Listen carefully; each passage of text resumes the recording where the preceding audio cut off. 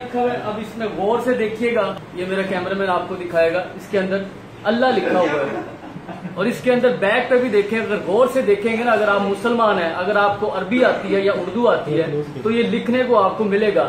यहाँ पे अल्लाह लिखा हुआ है, गौर से देखें। अब मेरा गवर्नमेंट ऑफ़ पाकिस्तान से प्राइम मिनिस्टर इमरान खान से ये मुतालबा है। अगर वो खुद को कहते हैं कि ये मदीना की रियासत है तो इसको, इस कंपनी को यहाँ पाकिस्तान में बैन होना चाहिए। ये देखें, गौर से देखें। हमारे लानत यार मुसलमान होने पर अगर हमारे मुल्क में ऐसी चीज़ें अगर सेल हो रही है तो इस वीडियो को ज़्यादा से ज़्यादा शेयर करें। Thank you so much Allah